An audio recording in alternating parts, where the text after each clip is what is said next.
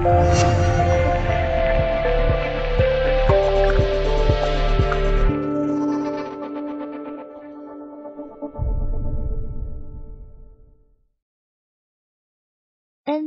常规赛十一月二十九日继续进行，七十六人在主场以一百一十七比九十一大胜尼克斯。首节开始，恩比德勾手命中，坎特布兰得手，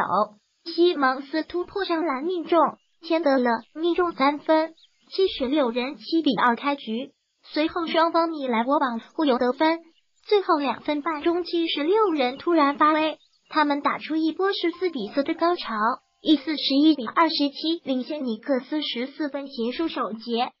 次节开打，诺克斯突破上篮得手，恩比内大成二加一，麦克内尔钱德勒和拿五分，七十六人一波八比零将领先优势扩大到了二十分，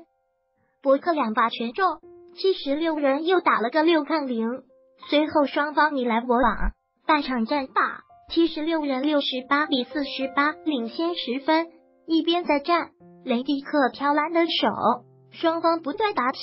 半节过后，七十六人又打出一波九比二，领先优势来到了二十七分。尼克斯开始苦苦追赶，但是他们无法阻止恩比德得分。三节战罢，七十六人以九十三比六十八领先尼克斯整整二十五分。末节开始，恩比德带队打了几分钟后下场，